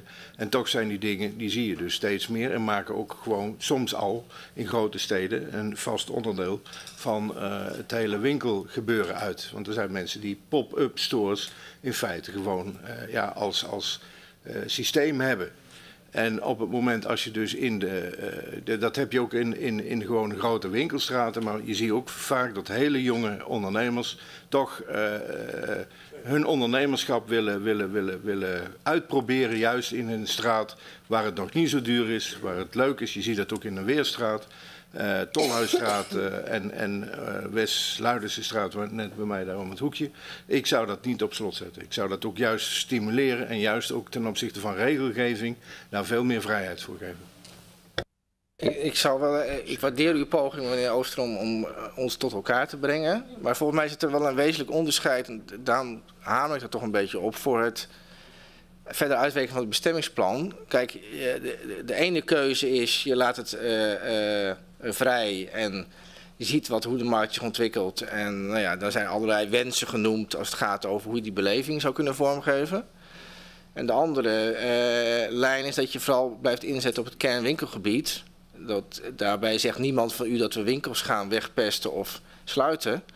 Maar in het bestemmingsplan is natuurlijk wel van wezenlijk belang. Ga je in de West-Luidense straat nu nieuwe detailhandel mogelijkheden toestaan of niet? Kijk, de bestaande die zit er. Maar interessant voor de discussie voor het college is, van gaan we daar als een winkel, nu een winkel wil openen op een plek waar nu een andere bestemming zit, gaan we daar dan ook winkelbestemming mogelijk maken of niet? Dat geldt voor de Kerkstraat, geldt voor de Westluizenstraat, geldt voor de Vleesstraat, et cetera. Daar moeten we met elkaar wel helderheid over hebben, anders blijft het een beetje vaag. Weer Zuiderma. Ik hoor uh, PvdB, D66 en VVD zeggen, uh, dat willen wij wel toestaan. De heer Zuiderma. Nou, inderdaad, in het kader van die vrijheid laat het aan de ondernemers. Kijk, we hebben met een kernwinkelgebied gezien dat een VND en een CNA en Halfort zich terugtrekken omdat het onbetaalbaar wordt. Dus blijkbaar hebben we onvoldoende aanzuigende werking om dat soort grote winkelbedrijven uh, in stand te houden. Tegelijkertijd hoor ik ook de ChristenUnie zeggen van ja, het zou mooi zijn als er ook voor mensen van een kleine beurs uh, iets te beleven valt in die binnenstad. Nou, op dit moment een winkeltje als een, uh, de, een tweedehands boekwinkeltje, hoe heet dat, de boekenlegger, betalen iets van 1500 euro huur per maand. Dan moet je heel wat tweedehands boeken met een gemiddelde prijs van een euro of drie voor verkopen. Wil je dat op kunnen hoesten? Secunda zit in, in de Weerstraat. Eigenlijk is dat een, een A1-locatie. Ook die zullen vast wat om moeten zetten om dat te kunnen behappen. Uh, verder zie je grote winkels zie je, verkleinen. Hè. Ze worden afgetopt, er komen woningen bij, appartementen. Kijk naar V&D. Winkels worden in stukjes geknipt, zoals de Meeuwse bloemenwinkel. de helft is eraf, zat eerst Serbe in. Dus die versnippering is natuurlijk prima, want je voorkomt daarmee leegstand en uh, je, je, je, dwingt mensen tot bepaalde keuzes. Maar dat rondloopgebied ontstaat juist en ook de aantrekkelijkheid voor evenementen als je mensen paadjes kunt laten lopen, waardoor ze ook de rest van die stad ontdekken. Het parkje, het pleintje enzovoort. Meneer Van Oostrom. Kijk, uh, in een stuk is dat ook bijvoorbeeld, daar was even discussie van, gaan we de Weerstraat wel uh, ook bijvoorbeeld aan bewoning geven? Nou, daar zijn we pertinent op tegen. Dus we willen wel dat rondje wat ik net geschetst heb, wel echt gewoon een winkelgebied houden. En ik denk dat CDA uh, hiermee wilde zeggen dat alles wat er omheen zit, dat dat een gemengde functie zou mogen hebben. Dat heeft te maken met wat de markt wil. Maar concentratie op het winkelgebeuren en de rest de markt. Ik kijk even naar OD16. Uh, zit, zit hij meer op de lijn van P van de uh, B uh, VVD of meer op de lijn van CDA Partij van de Arbeid? Even voor de ja, ik probeer geen tegenstellingen te creëren, maar wat helderheid te krijgen. PV, P van de B VVD. Ga mee. Oké.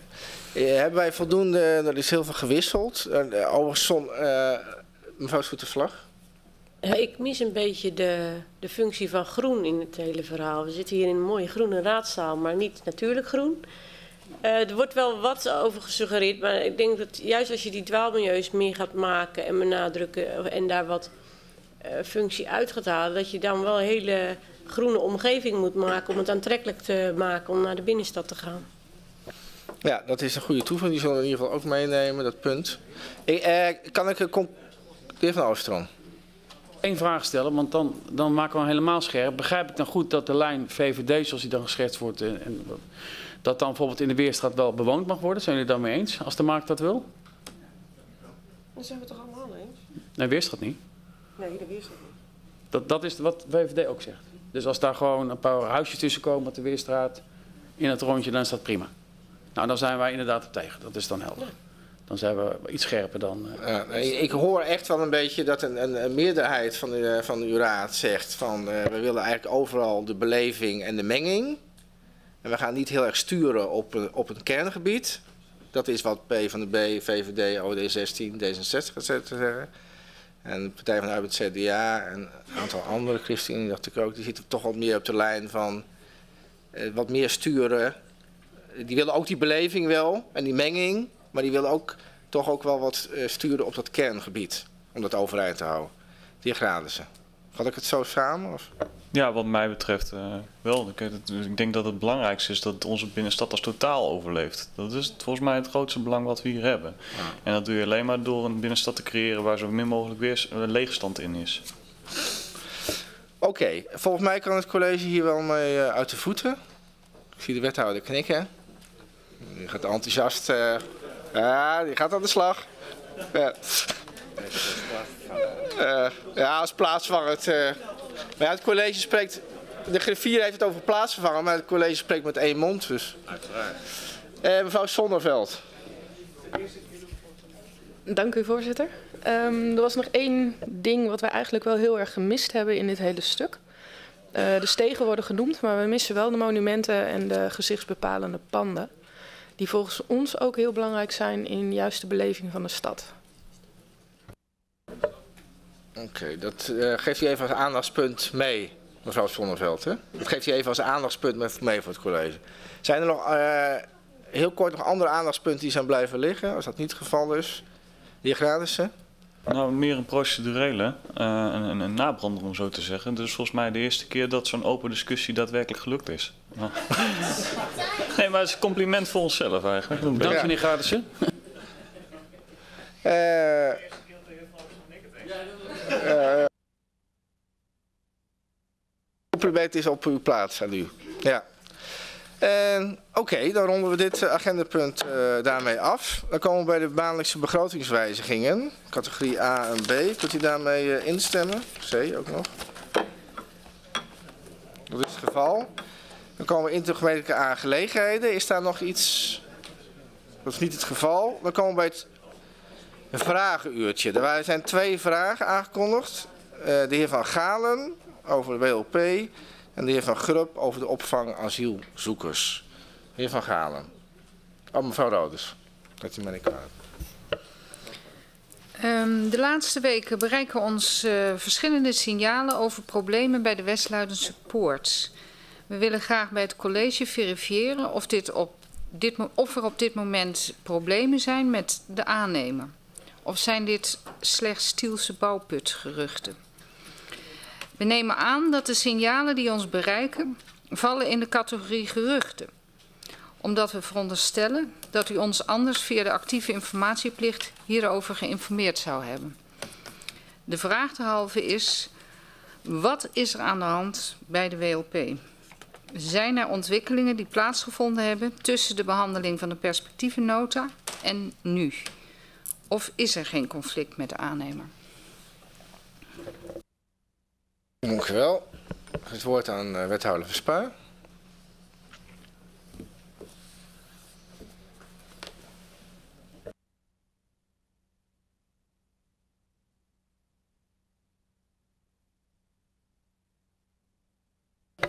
Ja, voorzitter, dank u wel. Mevrouw Roders zou mij toch moeten helpen. Want ze heeft ergens geruchten gehoord dat er problemen zouden zijn. Ik wil op alles reageren hoor, maar op deze vaagheid, daar kan ik echt niks mee. Dat is altijd het uh, probleem met uh, geruchten die, uh, die de ronde doen. Dan weet je nooit waar ze vandaan komen. maar er wordt wel over gepraat. Dat zijn de gesprekken zeg maar aan de bouwput. Um, ja, het, het gonst. En omdat het iets is wat wat Tiel aangaat. Uh, de Westluizense poort is, uh, is belangrijk voor ons. Wij willen ook allemaal dat het... Uh, het is een mooi project. We willen ook allemaal dat het slaagt. dus er is ons veel aan, gelegen om het ook te laten slagen. En als je dan... laat ik nogmaals zeggen, de geruchten hoort dat er problemen zijn met de aannemer, dan maak ik me daar zorgen over. Van, um, ligt het nog wel op schema? Gaat het door? Um, bij grote, bij grote projecten zijn altijd risico's. dat weten we. Kijk naar de uh, Noord-Zuidlijn. Uh, nou, we kunnen allemaal uh, dingen opnoemen. Bij dit soort grote projecten kunnen, kunnen problemen ontstaan. En als dan de geruchten gaan dat er problemen zijn en dat er een conflict is met de aannemer, lijkt het mij gerechtigd om daar in ieder geval te vragen of daar een ja of nee op kan worden geantwoord. De heer Van Oostrom. Misschien een hele procedurele opmerking die ik nu maak als voorzitter van de commissie Ruimte. Op de commissie Ruimte staat een uur lang uh, Westluister Poort op de agenda, waarin we naar het project gaan kijken. Waarin we zeg maar uh, in openbaarheid gewoon over allerlei dingen op Westluister Poort kunnen spreken. En maar ook in beslotenheid nog over zeg maar de contractuele schuine streep financiële zaken die wellicht uh, wel of niet zouden kunnen spelen. Ik stel voor om dat dan daar te doen. Uh, ik heb ook een beetje het gevoel dat u niet helemaal precies wil, uh, wil zeggen wat, om, om welk conflict het dan precies gaat. En als je niet kort, of als je niet echt helder kan, kan, kan maken wat het precies is, dan wordt het ook heel lastig om te antwoorden. Dus ik zou willen voorstellen om misschien deze vraag te parkeren en met elkaar uh, de scherpte te vinden waar we het dan ook echt over dat onderwerp hebben. Haal mij een beetje de woorden uit de mond. We hebben net gisteren in het presidium ook een afspraak over gemaakt. Mevrouw Roders van Geldermalsen. Het is fijn dat er uh, dan over gepraat gaat worden. Dat is denk ik ook goed. Uh, ook dat het in de openbaarheid is. Ik zag net bij de stukken dat er geen stukken voor zijn. Dat is dan, dan weer jammer, want dan... ik vraag me af, zijn er onderliggende stukken? Is, is er is er correspondentie uh, om, om deze vraag te beantwoorden. En nog steeds krijg ik geen vraag, met alle respect, op de vraag die ik stel. Een, een simpel ja of nee. Maar blijkbaar krijgen we het antwoord niet. De wethouder. Ja, voorzitter, u heeft het over geruchten die gonzen bij de bouwpoort. Ik ken die geruchten niet, dus daar kan ik ook niet op reageren. Dat zult u toch uh, van mij moeten aannemen. Dat ik niet kan reageren op geruchten die ik niet ken en die mij ook niet bereikt hebben. Uh, en voor de rest heeft u het over risico's bij grote bouwprojecten enzovoort. Daar doen wij keurig verslag van middels het blauwe boekje deel 3. En dan kunt u dat ook voor de Westluinen Support allemaal keurig nalezen. En wat er bij de commissie ruimte aan de orde is, want anders wordt het ook spannender gemaakt dan het is. We hebben zo'n beetje ieder jaar een rondje bouwplaats, Westluinen Support. En de afloop praten we bij over de stand van zaken die er zijn. Daar is zowel een openbaar gedeelte van als een besloten gedeelte. Want u weet ook, als we over de dingen praten die de risico's die de risicoanalyse raken van deel 3 van het blauwe boekje, dat we dat in beslotenheid doen. Ik stel voor om dit af te ronden en inderdaad het voorstel van de heer Van Oostrom te volgen. Uh, en inderdaad uh, de commissie ruimte te gebruiken om daar meer concreet met elkaar te spreken over uh, in openbaarheid. En als dat zoveel mogelijk in openbaarheid, als dat nodig is, in beslotenheid. Um, dan hebben wij een, uh, een tweede vraag, die was van de heer Van Gurp. Wij vernemen uit berichtgeving in de diverse media dat er minder dan wel geen noodzaak meer zou zijn nieuwe opvanglocaties voor asielzoekers in te richten. Er zou inmiddels voldoende voorraad zijn. Is dit juist en kunt u ons informeren of er door Tiel nog steeds actief gezocht wordt naar en gewerkt wordt aan een op te zetten opvang voor asielzoekers.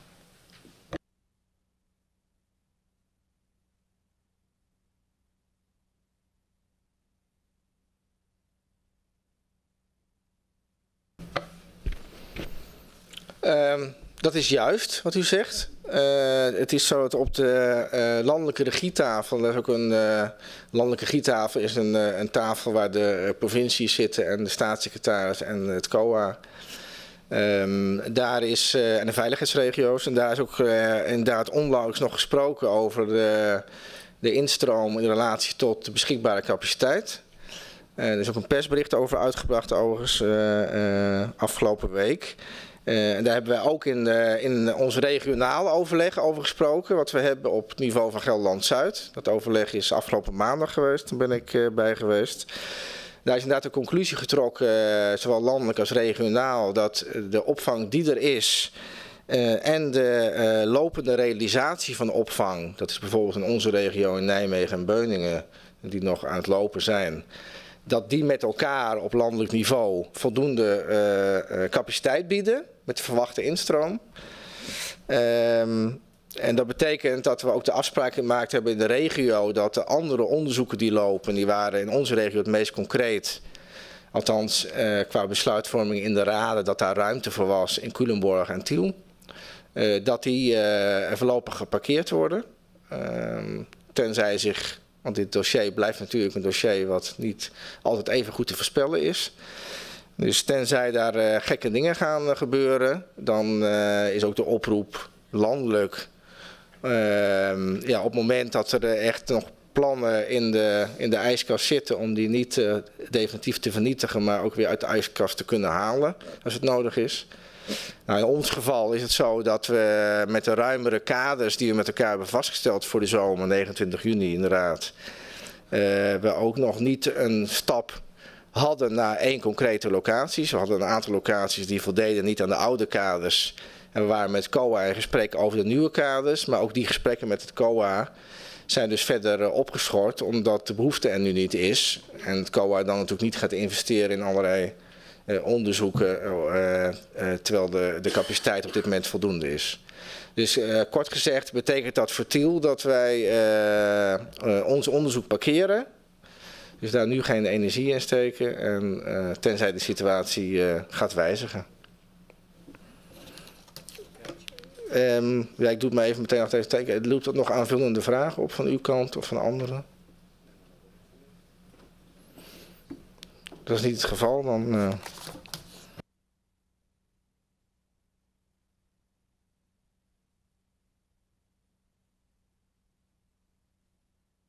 Ja, dank u wel. Uh, daarmee zijn we aan het uitgekomen van het vragenuurtje. Dan hebben we nog de rondvraag. Wie voor de rondvraag? Mevrouw Kreuk-Wilderman. Mevrouw Stolk. Zijn er nog andere voor rondvraag? Die twee. Ja, mevrouw Kreuk. Um, ja, ik heb uh, goed nieuws en uh, slecht nieuws. Tenminste, um, eerst maar even het goede nieuws. Met permissie van de voorzitter gebruik ik de rondvraag om de raad te informeren over de, ehm, de, ontwikkelingen binnen de raadswerkgroep mantelzorg. afgelopen periode zijn een aantal keren bij elkaar gekomen om uh, te praten over de aanpak uh, van het mantelzorgcompliment 2015 en 2016 en de toekomst. Een beleidsplan voor 2017 tot 2020. En daarin hebben we een aantal um, stappen gezet. Allereerst het mantelzorgcompliment 2015. bewoners van verpleeg- en verzorghuizen konden in 2015 geen mantelzorgcompliment aanvragen. Uh, er was nog budget over en om de mantelzorgers van deze groep alsnog te waarderen en te complimenteren uh, voor een inzet is voorgesteld een uh, feestmiddag en een feestavond te organiseren. Voor het mantelzorg 2016 hebben we als raadswerkgroep uitgesproken dat het gewenst is om zo snel mogelijk te beginnen met de, de voorbereidingen voor 2016 mantelzorgcompliment om ook het, een groter bereik van mantelzorgers te krijgen.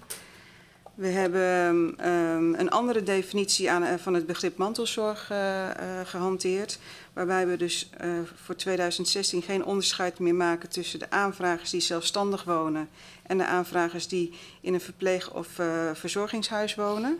Dus beide soorten mantelzorgers kunnen nu een mantelzorgcompliment aanvragen. Verder uh, uh, zijn er nog een aantal andere afspraken gemaakt, waaronder het bedrag van het compliment wederom op 125 euro vast te stellen. De wethouder heeft een mooie notitie gemaakt voor de, de raadswerkgroep. Ehm, met toestemming van de voorzitter zou ik graag willen voorstellen dat deze memo ook toegevoegd wordt aan de ingekomen stukken van de commissie Samenleving. Dan hebben we echt alle informatie, want het is te veel om nu allemaal op te noemen. En voor de rest is er over het mantelzorgbeleid 2017-2020 uh, gesproken. En, uh, en, daar gaan we medio december in de, in de uh, aandacht besteden in de lokale beleidsnota WMO en jeugdzorg. Die wordt dan besproken in de raad. U had verder geen concrete vraag? Nee, oké. Okay. Ik neem aan dat de voorzitter van de commissie Samenleving ermee akkoord is, maar. Dan was een vraag van mevrouw Sons, de heer Griffier. Zou u zo vriendelijk willen zijn mij die memo te verstrekken? Ja. Mevrouw, mevrouw Kreuk. Ja, ik had ook nog iets anders voor de rondvraag. Ja, dat dacht ik ook ja. inderdaad. Ja. Ik zat er aan te kijken. ja, gaat u gang. Tweede punt. Tweede punt, precies. Even kijken hoor. Even het andere documentje openen.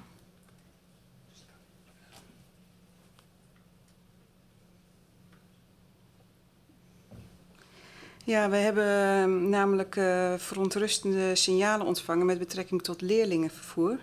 Niet over het vervoer van de leerling dat niet goed zou verlopen, maar over het deel waar de gemeente voor verantwoordelijk is, namelijk de indicatiestelling het persoonsgebonden budget, het uh, vervoerstarief en uh, de berekeningsformule van, uh, van routes.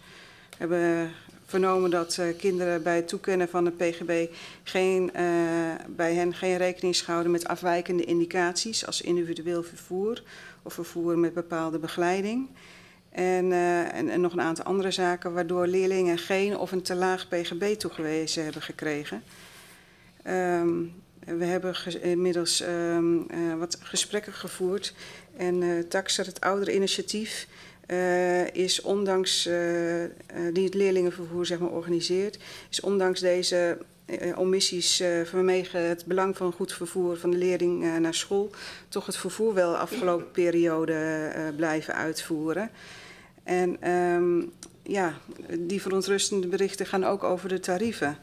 Uh, afgesproken was in de Raad dat het uitgangspunt het budget van 2014-2015 zou, zou zijn. Uh,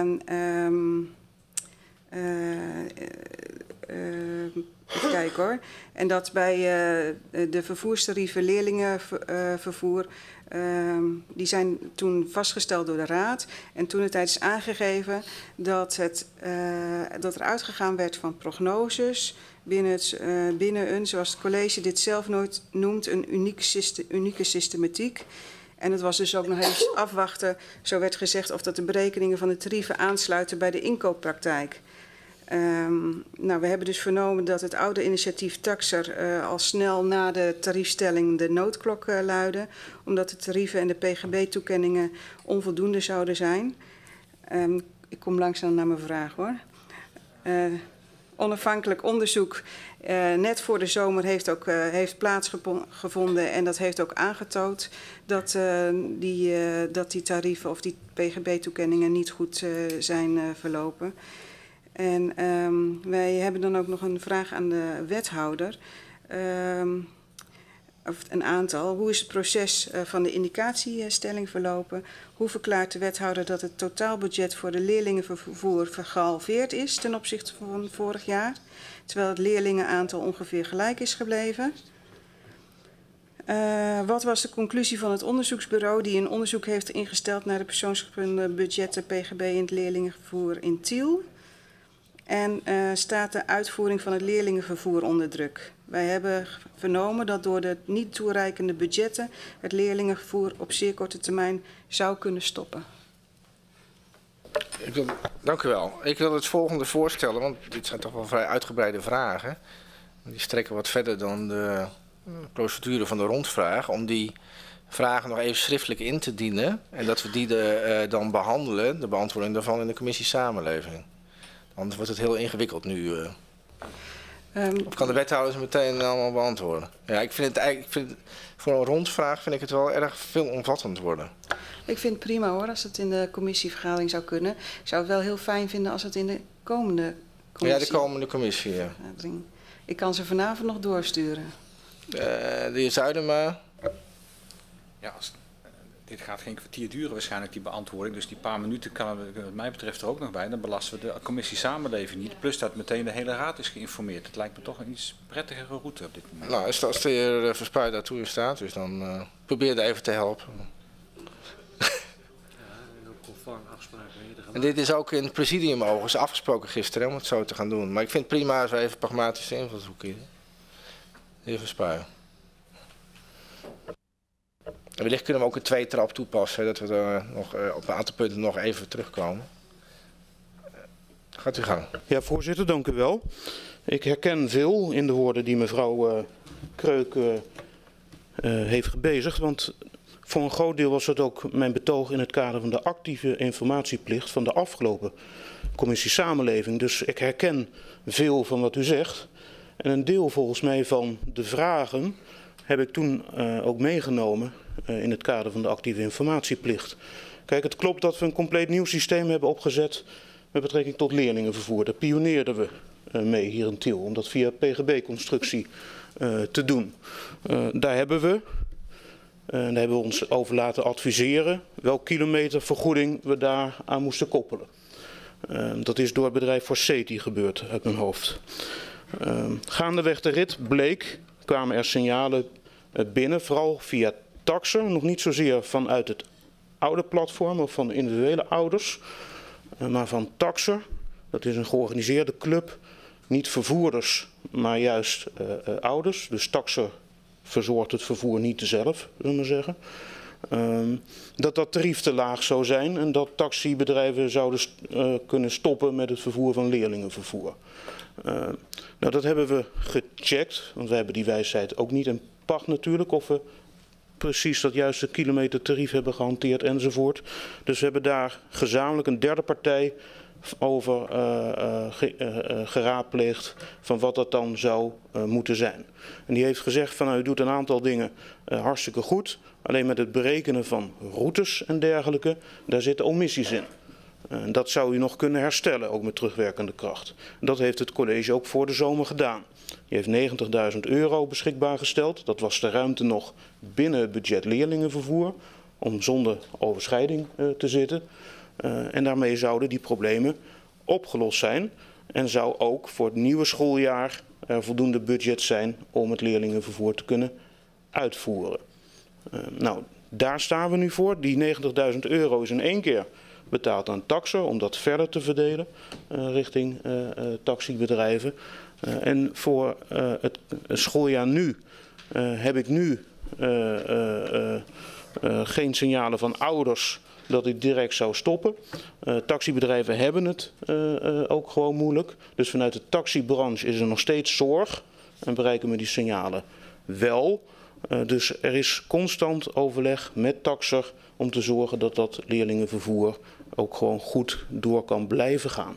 Dus daar is vandaag ook weer contact over geweest met taxer. En daar houden we ook met, met elkaar de vinger aan de pols. Wel, de rondvraag geeft geen gelegenheid tot aanvullende vragen. Ik stel voor als uh, om gewoon de actualiteit weer aanvullend zeg maar, terug te laten keren in de komende commissie samenleven. Als daar wat nieuws te melden is. Nee, mevrouw Keuken krijgt echt de gelegenheid niet. Dit, zijn de, dit is het reglement van de orde. Anders gaan we debatten krijgen tijdens de rondvraag. Mevrouw Sonstolk.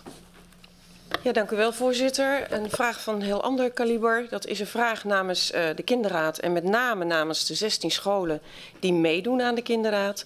De laatste week van september en de eerste week van oktober zijn de kinderen weer heel druk in de weer met de verkiezingen en met hun campagne.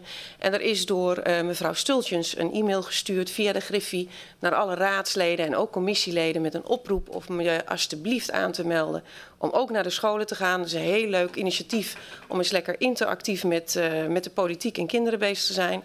We doen het al een aantal jaren en ik wil die oproep nog een keer versterken, want we komen mensen tekort. En ik denk dat het in ons alle belang is dat we dat met elkaar toch, uh, toch vlot trekken. Dank voor uw oproep. Dan neemt uh, iedereen kennis van en gaat daar enthousiast op reageren. Uh, dan hebben we de punten voor de rondvraag volgens mij gehad, als ik het goed heb. Dat is het geval. Dan is de vergadering gesloten.